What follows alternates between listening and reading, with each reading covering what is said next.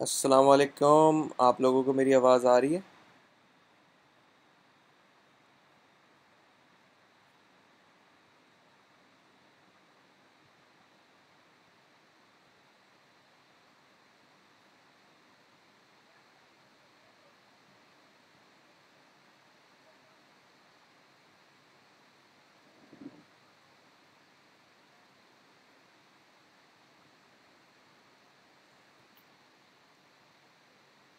चलें, ज़बरदस्त हो गया।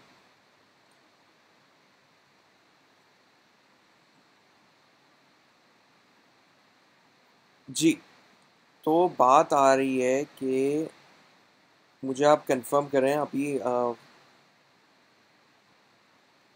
मैंने आपसे भी कंफर्म कंफर्मेशन लेनी थी कि आप लोगों को किस तौर पे फॉर्मेट सही लगता है एनएफटी सेशन का, क्योंकि इस वक्त हम ज़रा सा अनफॉर्चुनेटली जल्दी आजकल लाइव आ रहे हैं। Around nine A M in the morning Pakistani time तो मैं आपसे कंफर्म ये करना चाह रहा हूँ कि आप लोगों को किस तौर का फॉर्मेट सही लग रहा है? लाइव uh, पे आके क्वेश्चन और आंसर देने के लिहाज से या फिर uh, आप रिकॉर्डेड लेक्चर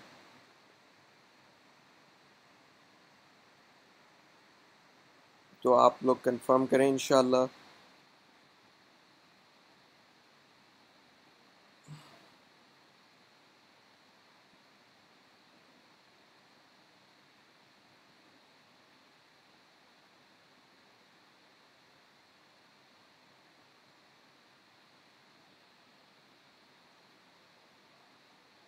चलें ज़बरदस्त फिर। जी तो मैं अब इस वक्त अब हम कल अनफॉर्चुनेटली मैं माजरत चाहता हूँ अपने लाइव सेशन से। कल इंटरनेट का इशू एक साथ आ गया था, वरना आपको आपको पता है मैं हर कमेंट्स पढ़ता हूँ आप लोगों के, जितने सवालों के जवाब दे सकता हूँ मेरी पूरी कोशिश होती है, जितना कम से कम अल्फाजों में जवाब देने की मेरी इस तौर पे कोशिश होती ताकि ज़्यादा से ज़्यादा सवालों के जवाब चले जाएँ। लेकिन इस चीज़ में, इस फ़ील्ड में ये चीज़ मुमकिन नहीं क्योंकि बहुत सारे जो कॉन्सेप्ट हैं वो एक सवाल में कम्बाइंड होते हैं। तो जवाब देने के लिहाज से छोटा बड़ा मुश्किल हो जाता है छोटा जवाब। इन पूरी कोशिश है। इन पूरी कोशिश है आप लोगों के सवालों के जवाब देने की। आप लोग सवाल करें, मैं जवाब देने के लिए इधर हाजिर बैठा हूँ आपके लिए।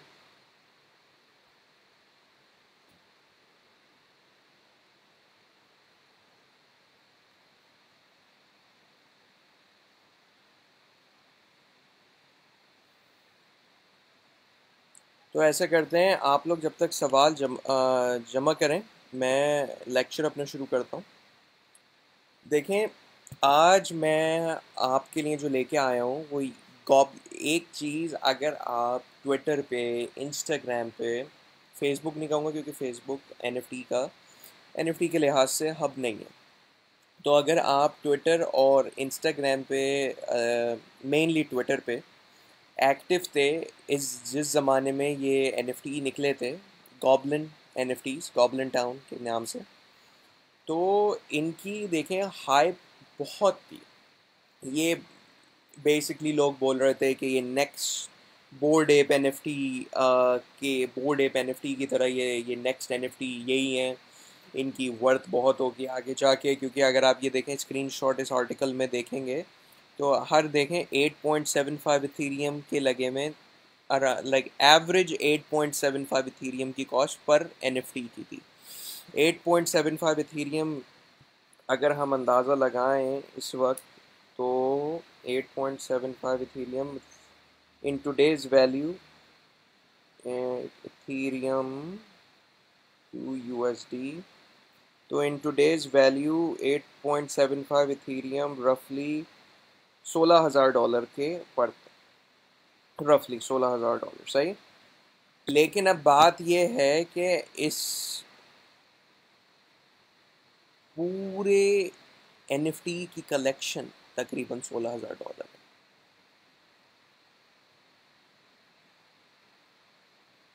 अब आप अंदाज़ा लगाएँ। मैं इसमें आपको दिखा भी देता हूँ। ओपन सी ओपन सी में जाते हैं हम। गॉबलिन टाउन में जाते हैं।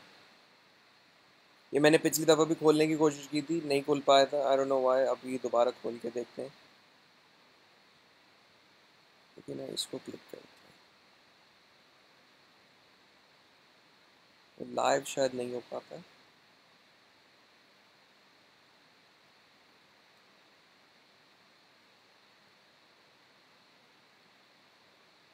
ये देखें। अब बात ये है कि इन सब की वैल्यू आप चेक करें इस वक्त। सब की वैल्यू इस वक्त चेक करें।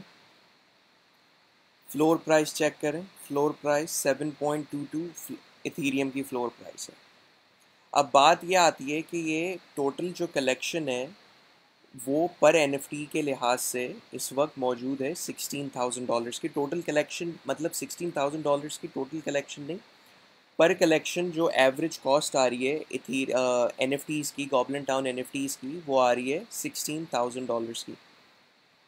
सही है? जो मिनिमम कॉस्ट आप कर लें। टोटल कलेक्शन तो अभी फ्लोर प्राइस चल रही है seven point two two Ethereum की फोर पॉइंट सिक्स के ओनर्स हैं। सही? अब बात ये आती है कि यहाँ पर लॉस का देखें लॉस ये चीज़ मैटर करती है आपके ऊपर कि आप किस तौर पे लॉस देख सकते हैं। फ़र्ज़ कर लें, आपने शुरू में इसमें इन्वेस्ट किया। तो शुरू में इन्वेस्ट करने से क्या हुआ? शुरू में इन्वेस्ट करने से आपको चलें फ़ायदा होगा।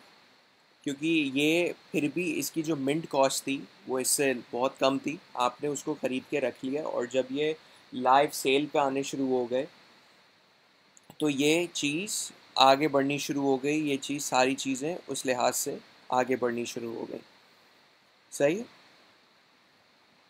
लेकिन फिर क्या हुआ? इसकी वैल्यू आहिस्ता आहिस्ता नीचे गिरनी शुरू हो गई। फिर नीचे गिरने इस इस तौर पे शुरू हो गई पर एनएफटी के लिहाज से। मैं आपको दिखाता हूँ। कुछ एन की कॉस्ट बढ़ गई, कुछ एन की कॉस्ट गिर गई। अब देखें, आप कंफ्यूज ना हो क्योंकि मैं इस वक्त दो कॉन्सेप्ट्स लेके चल रहा हूँ। ताकि आपको वर्थ में टेक्निकल पॉइंट ऑफ़ व्यू से एनालाइज करना सिखा सकूँ। एक मैं लेके चल रहा हूँ जो जो कलेक्शन में जिन्होंने एनएफटी की वैल्यू लूज़ की है, जो जो एनएफटी वैल्यू लूज़ की है और जो एनएफटी वैल्यू बढ़ी है। टिपिकल कॉस्ट जो इन लोगों की बड़ी है इस एनएफटी के प्रोजेक्ट की, वो रफली अराउंड सिक्सटीन थाउज़ेंड डॉलर्स तक बड़ी है, सही? पर एनएफटी की ऑन एवरेज अगर आप इसमें अर्ली बायर्स हैं, देखें अर्ली बायर्स का क्या फ़ायदा होता है कि आप इस जब सेल लाइव पे आती है, जब मार्केट को हिट करती है तो आप उस पर फ़ायदा करके आगे बढ़ सकते हैं। सही है? फ़ायदा करके आगे बढ़ने से आपको क्या होता है कि फिर आप उसमें फ़ायदा करके निकल के निकल दिया ये ये एक चीज़ हो गई। सेकंड चीज़ क्या हो गई? आप एक अर्ली सपोर्टर तो मौजूद थे, सही है? अर्ली सपोर्टर मौजूद होने के बावजूद आपको लॉस इस तौर पर हुआ क्योंकि जो देखें आप, चाहे मिंट कर लें या फिर आप सेकेंडरी मार्केट से ख़रीद लें, क्योंकि कुछ एन की कॉस्ट देखें, मैं आपको दिखाता हूँ। रफली थ्री इथीरियम के अंडर तो इस तौर पे आपको पूरे मार्केट के तौर पे आप इसको लॉस देख सकते हैं, लेकिन अगर अगर सेकेंडरी मार्केट में आपने ख़रीदी at a higher in inflated cost पे। अगर इन्फ्लेटेड कॉस्ट पे आपने नहीं ख़रीदी तो फिर आपने किस तौर पे ख़रीदा इसको? आपने मिंट प्राइस पे ख़रीदा, जो कि जब ये कलेक्शन लॉन्च हुआ, आप इसके अर्ली सपोर्टर थे, आपने ख़रीद के रख के ख़रीद के रख लिया, सही? फिर हाँ इसकी वैल्यू बढ़ गई तो उस लिहाज से आपको इस पर फ़ायदा हो सकता है। तो ये टेक्निकल एनालिसिस हल्का सा कंफ्यूजिंग हो जाता है कि किस तौर पे आप एनएफटी की कैसे वर्थ कर सकते हैं। तो ये चीज़ बहुत मैटर करती है। अब अब आपके सवाल सवाल देखते हैं कि कितने जमा हुए हैं।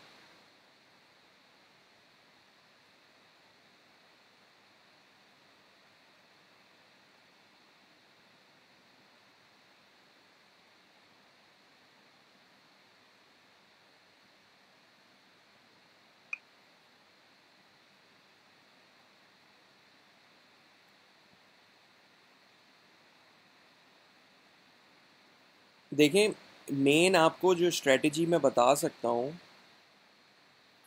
देखें मेन जो स्ट्रेटजी है मेन स्ट्रेटजी ये चीज़ बहुत मैटर करती है कि आप कौन सी कलेक्शन को एनालाइज करें क्योंकि हर कलेक्शन के लिहाज से स्ट्रेटजी डिफरेंट होती है। ये चीज़ बहुत मैटर करती है। फ़र्ज़ कर लें, आप इसको तो देख ही रहे हैं। गॉबलिन टाउन को देख रहे हैं। अगर आप जनरली ओपन सी के पास जाते हैं, देखें ओपन सी पे ये सारी रीसेंट कलेक्शंस आ रही हैं। Bookie goblin town goblin girls hobo town ये चीज़ बहुत मैटर करती है कि आप किस तौर की कलेक्शन देख रहे हैं तो उस लिहाज से सारी स्ट्रेटजी होती है। लम्बी मैं आपको एक एग्जांपल देता हूँ। फ़र्ज़ कर लें, आप गॉबलिन गर्ल्स पे जाते हैं। गॉबलिन गर्ल्स पे जाने के देखें ये स्ट्रेटजी मैं जबकि बता रहा हूँ कि आपने अच्छा ये भी उसका काउंटर पार्ट है गॉबलिन टाउन का, उससे मिलता जुलता है, लेकिन एक्सट्रीमली सिमिलर नहीं है। तो हर चीज़ देखें हाइप पे कभी ज़िंदगी में नहीं जानी चाहिए।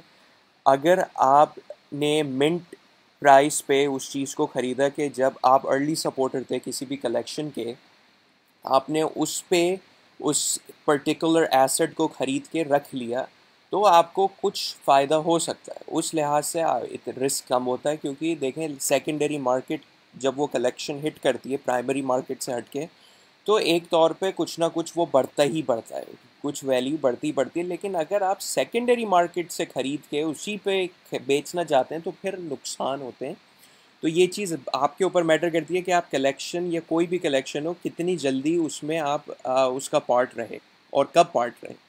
जैसे आप देखें फ्लोर प्राइस जो हमने गॉबलिन टाउन की देखी थी रफ फ्लोर प्राइस उसकी रफली थी around seven two eight Ethereum. इसकी है पॉइंट टू इथीरियम। तो लेकिन अब बात यही है कि कलेक्शन कम है ओनर भी कम है लेकिन ये चीज़ मैटर नहीं करती है क्योंकि अगर कलेक्शन और कम होती है तो वो और रेयर कहलाती है तो प्राइस और इंक्रीज़ होती है। तो ये चीज़ बहुत मैटर करती है कि आप किस तौर पे क्या कर रहे हैं और किस किस तौर, किस तरह इन्वेस्ट कर रहे हैं। अगर आप इसको ख़रीदते हैं, मैं इसको क्लिक करता हूँ। सेकेंडरी मार्केट की बता रहा हूँ बात।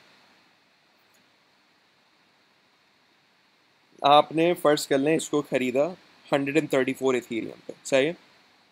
लेकिन इसकी जो बिड्स आ रही हैं, वो already sixty five percent below है मार्केट से ऑलरेडी तो ये चीज़ बहुत मैटर करती है कि आप प्रॉफिट के लिहाज से किस कलेक्शन में इन्वेस्ट कर रहे हैं अपनी ड्यू डिलीजेंस देख रहे हैं प्रोमिस जो कम्युनिटी कर रही है कलेक्शन को लॉन्च करने के बाद वो कलेक्शन को आप मद्देनज़र रख रहे हैं सारी चीज़ें कर रहे हैं लाइक अपने लिहाज से आप उसकी हर चीज़ को सपोर्ट कर रहे हैं एक एक आ, एक एक उसके ट्वीट्स इंस्टाग्राम पोस्ट को कोरस्पॉन्डेंस के लिहाज से आप उसको एनालाइज कर रहे हैं। फिर जाके उस पर्टिकुलर प्रोजेक्ट में इन्वेस्ट कर रहे हैं, ये चीज़ बहुत मैटर करती है when it comes to investing क्योंकि ब्लाइंडली इन्वेस्ट करने का कोई फ़ायदा नहीं है, क्योंकि 90 to 95 percent of N F T collection are worthless और ये मार्केट में प्रूवन फैक्ट है.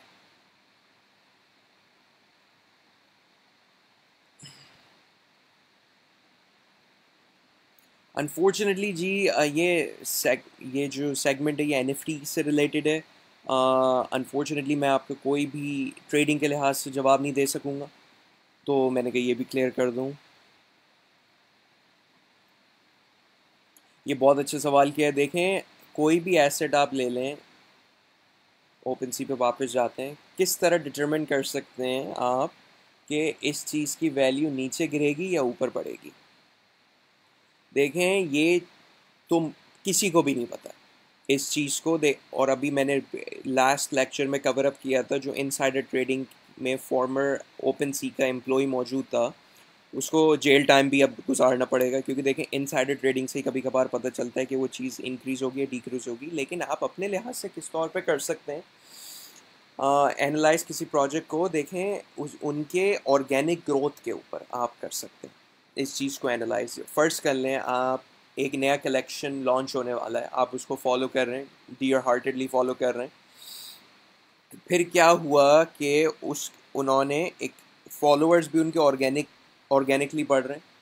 ये चीज़ बहुत मैटर करती है। देखें, अगर आर्टिफिशियली फॉलोअर्स एक साथ इन्फ्लेट हो जाएँ इन्फ्लेट होने के बाद क्या होता है, वो चीज़ आपको एक रेड फ्लैग देती है।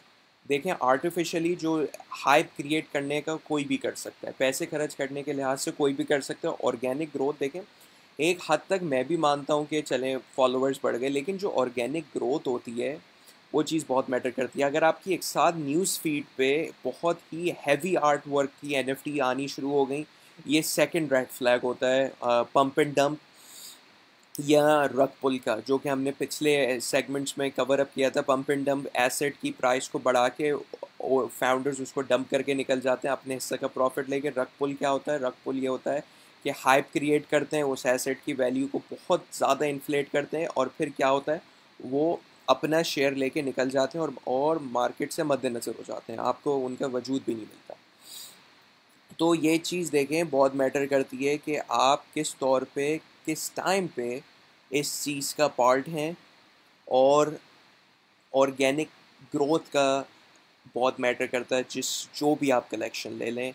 ऑर्गेनिकली जो ग्रो होता है हाँ आ, ये मैं चलें आहिस्ता आहिस्ता बंदा फॉलोअर्स ख़रीदता ही रहता है कोई उसमें मसले की बात नहीं है लेकिन मेजॉरिटी ऑर्गेनिकली कोई भी अकाउंट बढ़े तो वो चीज़ बहुत मैटर करती है कि वो आगे जाके भी ये कामयाब हो सकता है और एक हद तक प्रॉम एक हद तक वादे भी करता है वो प्रोजेक्ट अगर ज़्यादा से ज़्यादा वादे करे बंदा तो वो चीज़ थर्ड रेड फ्लैग में आ जाता है कि ये चीज़ सही नहीं है, क्योंकि वो, एक मैं आपको एग्जांपल देता हूँ फ़र्ज़ कर लें, वादे हैं टेन थाउज़ेंड डॉलर्स के, लेकिन उसकी पूरे कलेक्शन की वर्थ है फाइव थाउज़ेंड ये मैंने पहले भी बताया था। फाइव तो टेन थाउज़ेंड के वादे वो पूरे कैसे करेगा जब उसकी कलेक्शन ही उसको ग्रोस नेट कर रही है फाइव थाउज़ेंड डॉलर्स तो ये चीज़ बहुत मैटर करती है, इस तौर पे भी आप एनालाइज कर सकते हैं सिचुएशन को।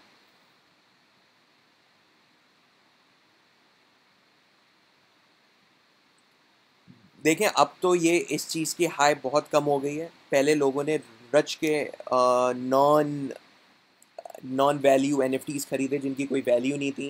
जैसे ट्विटर की फ़र्स्ट ट्वीट 2.9 मिलियन डॉलर्स रफली फ्रॉम नॉट मिस्टेक इनकी बिकी, और अब वो उसकी वर्थ है less than twenty thousand dollars तो ये चीज़ बहुत मैटर करती है। बहुत सारे लोग क्या करते हैं और अब अब तो नहीं, पहले क्या किया था, बहुत सारी वर्थलेस एन लेना शुरू कर दी कि हाइप थी उस ज़माने में, लेकिन अब हाइप कम हो रही है, लोगों, लोग अपने आप को एजुकेट कर रहे हैं तो इस इंडस्ट्री में एजुकेशन अब एक बहुत बड़ा मेजर हिस्सा हो गया है। तभी इतना अब आपको स्कैम प्रोजेक्ट्स मिलेंगे, लेकिन इतने नहीं मिलेंगे क्योंकि लोगों में अवेयरनेस आ गई है। ये चीज़ बहुत मैटर करती है। जी तो इन आपके और सवालों का जवाब इन नेक्स्ट सेगमेंट में ज़रूर देने, ज़रूर देंगे हम। आज के लिए इजाज़त दें इन मुलाकात होती है। तब तक के लिए खुदाफिज